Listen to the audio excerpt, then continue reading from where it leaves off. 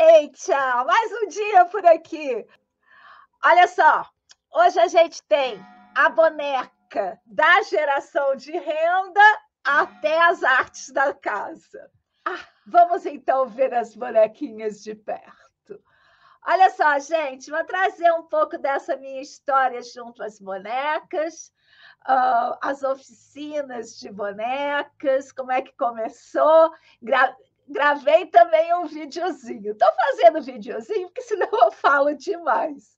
Olha lá. Durante muitos anos, minha atividade como formadora de bonequeiras era toda dedicada à geração de renda. Eu trabalhava com um grupo de mulheres uh, para que elas aprendessem um ofício especialmente porque naquela época, antes dos anos 2000, não havia creches, não havia uh, nada que pudesse facilitar a vida da mulher na sua geração de renda. Eu trabalhava bastante com muitos grupos de mulheres em várias localidades, bairros carentes, fazendas, muitos projetos. Foi então que nos anos 2000, uma pessoa, essa que aparece em primeiro plano, me perguntou se eu poderia dar uma oficina para ela e para a filha. Eu nunca tinha pensado né, em, em, em oferecer a oficina para mulheres da classe média, mas resolvi então uh, elaborar uma oficina onde a, a parte artística de confecção da boneca estivesse integrada então ao, à pedagogia Waldorf e ao desenvolvimento da criança. Eu já fazia assim na geração de renda, mas tinha várias outras coisas que eu incluía na capacitação para geração de renda que não fazia sentido. Uh, para a classe média, para mulheres, né, vindas das mais diversas profissões, que estavam interessadas no conhecimento antroposófico da boneca. E aí eu comecei a partir dos anos 2000, a fazer as oficinas abertas. E foram muitas, em muitos países, em praticamente todos os estados do Brasil, excetuando o norte. Eu estava para ir para Manaus quando veio a pandemia. Do Uruguai até a Inglaterra, passando por Portugal, pela Suíça, por muitos outros lugares, eu fazia oficinas. O que me chamou a atenção durante essa experiência foi justamente que essas mulheres, elas já tinham quase todas ido para o mundo corporativo e estavam fazendo um caminho de volta para casa. Elas queriam construir uma carreira que permitisse gerar renda, mas também estar com seus filhos, ter uma dinâmica é, de cuidado com a casa. Isso começou a me chamar muita atenção. E foi aí que eu passei a perceber que aquilo que eu fazia enquanto boneca Waldorf era uma arte da casa, porque a boneca ela nasceu dentro da casa. A boneca de pano, essa que a gente faz, ela faz parte das artes da casa. E aí, com a experiência de, de, de lidar com essas mulheres, eu comecei então a ampliar o meu estudo, a minha pesquisa para as artes da casa, pois a tecelagem que eu já fazia, a fiação que eu já fazia, tudo isso eu já entendia como artes da casa. Mas engraçado que demorou um bom tempo até que eu percebesse a boneca como artes da casa. Afinal, ela aparece no brincar de casinha. Agora a pesquisa continua olhando na dimensão histórica, de gênero, de classe, para essas artes da casa que constituem o meu campo de pesquisa.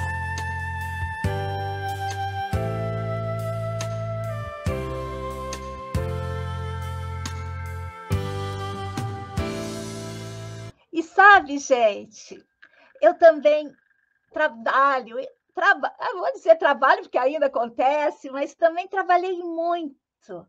Mesmo antes de, de enquanto estava ainda só trabalhando com as mulheres na capacitação, né, na geração de renda, com escolas, com escolas, com professor, formação de professoras foi uma coisa que eu fiz, né? Então, aquelas oficinas, 40, 45 pessoas, microfone, opa, microfone, aquelas coisas, né?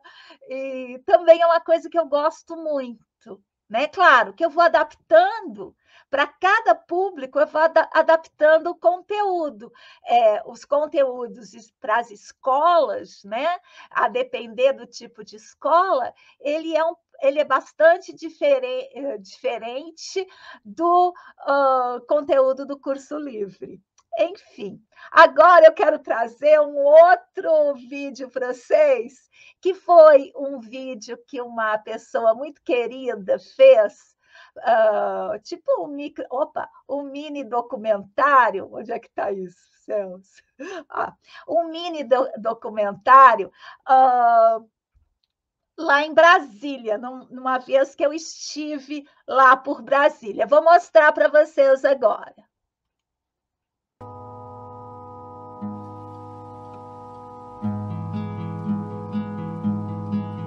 Minha expectativa era vir a uma oficina para aprender a fazer uma boneca. Era fazer o meu próprio presente de aniversário de 58 anos.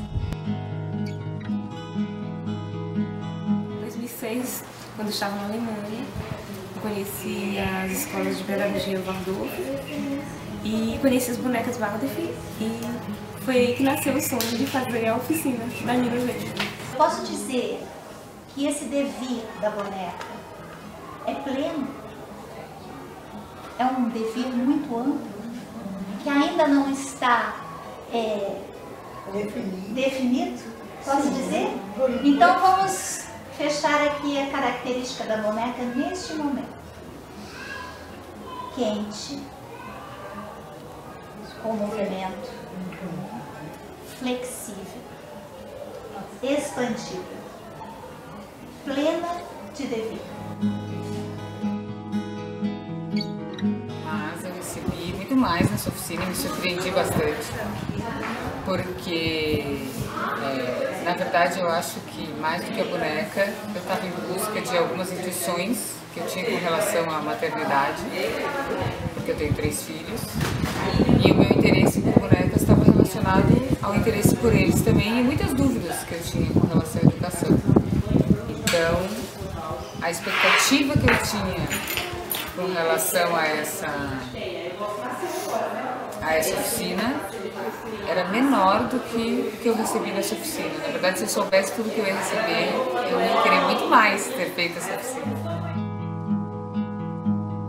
Eu já ouvi vários relatos de pessoas que quando têm contato com a antroposofia, tem esse, né, essa sensação de encontrei, esse, era isso.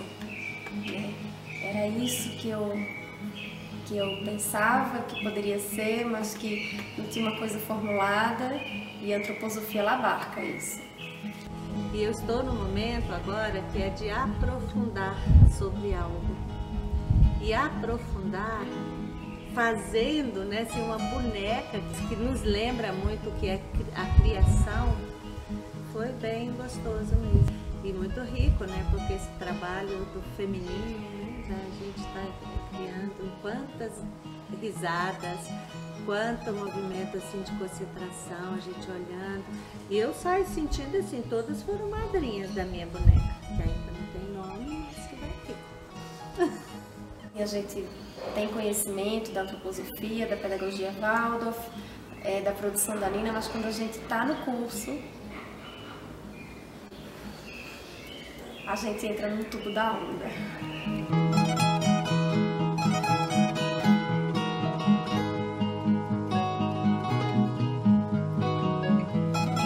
Maioria das pessoas que vêm não conhece a pedagogia Waldorf. A maioria das pessoas uh, que vêm conhecem, tem alguma ligação com bonecas. É, só que essa é a boneca Waldorf.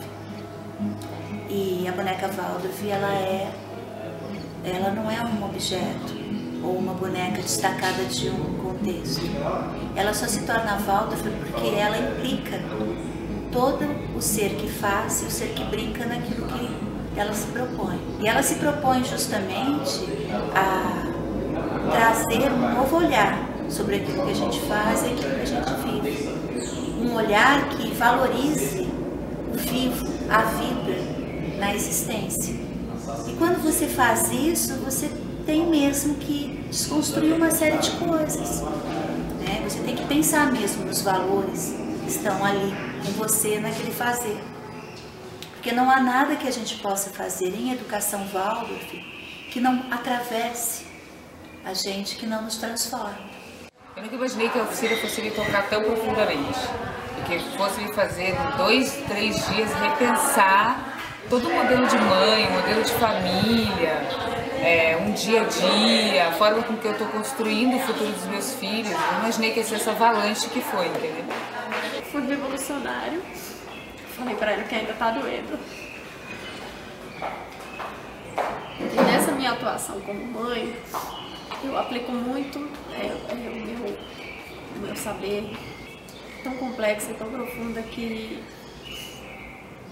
que a gente vê, revê, acha entendeu, descobre que não entendeu, entende de novo de outra forma e, né, e sempre tentando, numa, numa autodescoberta também.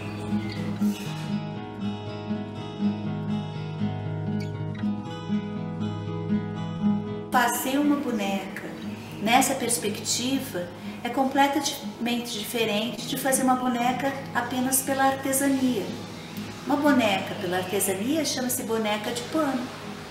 Uma boneca Waldorf, o sobrenome dessa boneca, implica numa série de coisas que extrapola a própria boneca.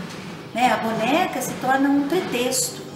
A boneca se, se torna um modo de fazer algo e esse fazer que você consegue, consegue visualizar não só as forças que constituem a criança, como você mesmo enquanto faz.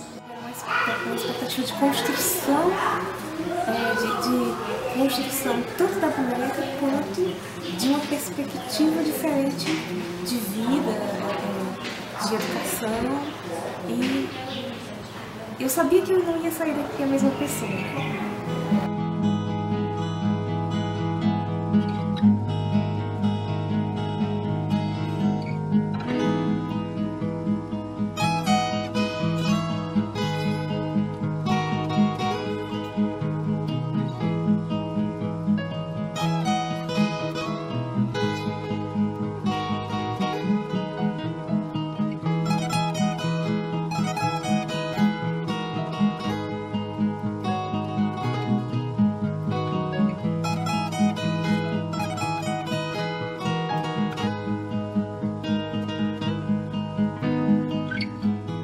Legal, né, gente?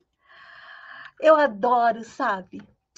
Que é uma coisa que eu adoro. Esses dias eu estava fazendo um ponto em questão, e aí eu falei assim: vou fazer um ponto em questão, adoro. Desde então que eu ando pensando: o que, que eu adoro? Eu adoro trabalhar com grupos de mulheres. Eu adoro trabalhar com um grupo de mulheres nessa perspectiva do fazer antroposófico da imanência, onde o pensar, o sentir é, e o querer fazer estão amalgamados. Eu acho que é isso que eu mais adoro fazer.